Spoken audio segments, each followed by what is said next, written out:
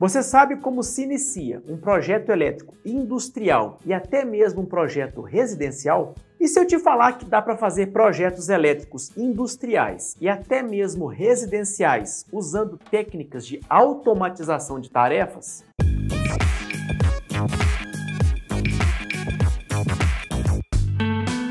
Fala, amantes da engenharia! Hoje eu quero te trazer para o mundo dos projetos, começando pelas primeiras etapas. A ideia é fazermos mais vídeos sobre o tema, já que cobrir tudo em um vídeo apenas vai ser complicado.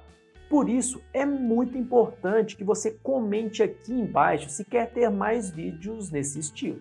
E eu vou começar falando sobre projetos elétricos industriais. Nesse tipo de projeto, nós trabalhamos com potências muito grandes, quantidades enormes de motores e cargas de todos os tipos. Pensa numa planta industrial.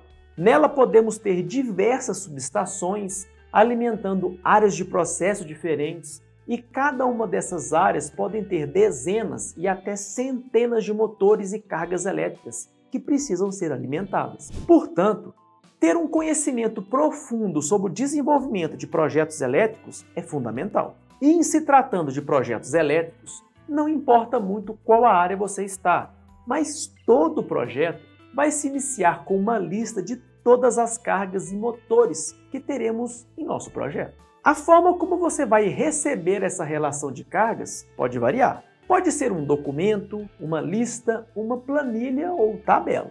Normalmente, quem vai passar essa relação de cargas é a engenharia mecânica, a engenharia de processos ou, dependendo do tamanho da empresa, até mesmo uma lista para cada uma dessas engenharias, ou até mesmo a engenharia elétrica. Seja, por exemplo, na definição de transformadores de iluminação, responsável por alimentar a iluminação e tomadas de áreas de processo. Mas o fato é, você vai precisar dessa lista de cargas para dimensionar seu sistema elétrico. Por exemplo, eu vou selecionar aqui uma informação que eu recebi de um projeto que eu trabalhei no passado. Repare que temos aqui três equipamentos diferentes, que possuem motores principais e alguns motores auxiliares, que são responsáveis por lubrificar e refrigerar as máquinas. E veja que esses motores principais são bem grandes. Repare também que os motores foram apresentados com unidades de potência diferentes, onde uns estão em CV, outros em kW, ou seja, não dá para somar essas potências. Então temos que converter essas potências todas em potências ativas e potências reativas, e só depois somar para encontrarmos a potência aparente total. Se você quiser saber mais detalhes do porquê isso é necessário, eu vou deixar um card de um vídeo no final desse aqui que explica direitinho.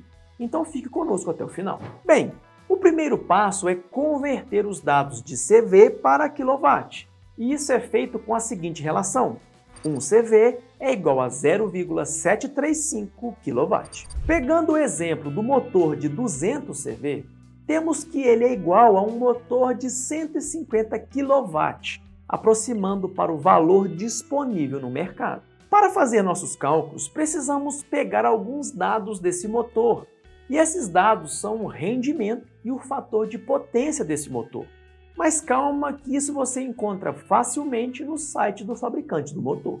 No caso do motor de 150 kW, o rendimento é de 0,94 e o fator de potência é 0,82, conforme catálogo do fabricante. Para calcular a potência aparente desse motor, basta dividir 150 kW pelo rendimento do motor vezes o fator de potência. E chegamos que esse motor vai consumir da rede um total de 194,60 kVA. Pronto!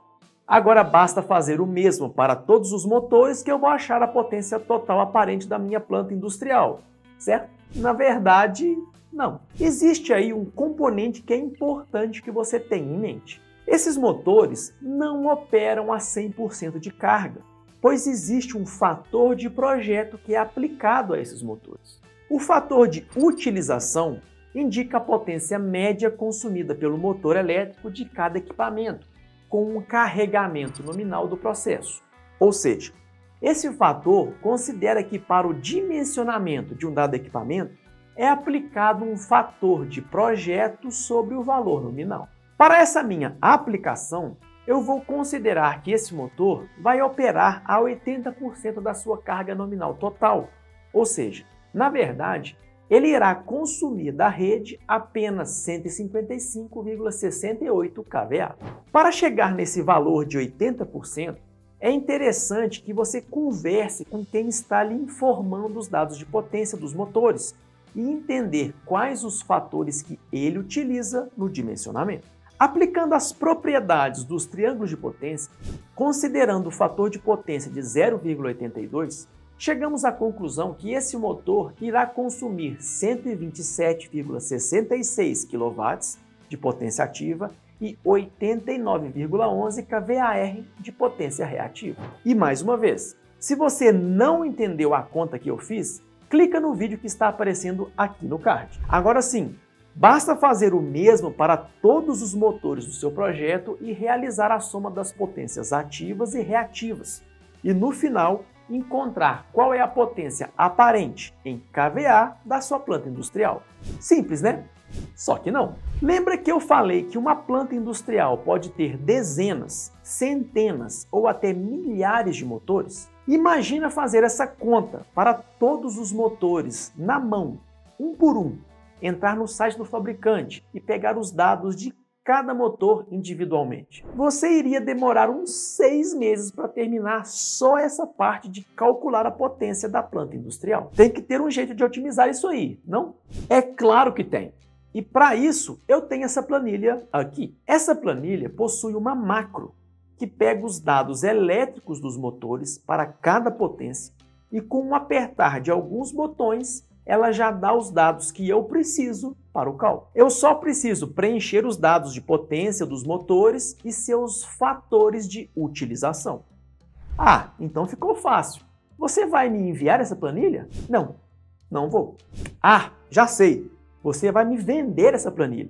Também não. Aliás, eu até poderia vender, mas essa planilha foi desenvolvida para uma aplicação muito específica da empresa que eu trabalhava.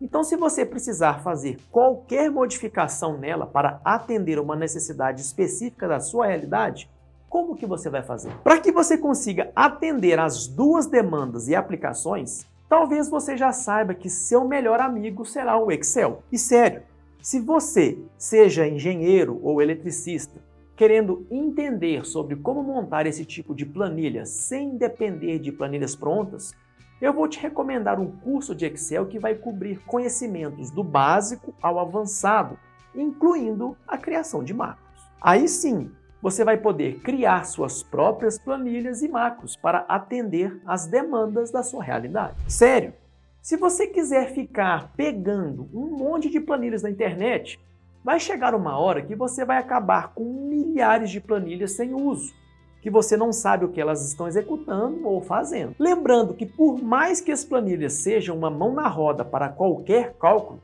elas aceitam entrar com quaisquer informações. Mas o importante é saber entender os resultados e, principalmente, confiar no que a planilha está fazendo. Principalmente você que está estudando ou se interessando pelo mundo da elétrica, vale a pena ter conhecimento em Excel.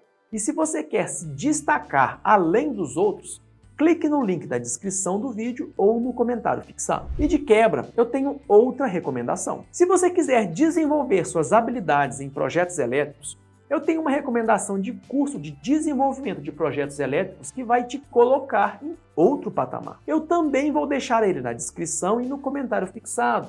Aí você vai conseguir entender como desenvolver projetos elétricos ao mesmo tempo que cria suas próprias planilhas.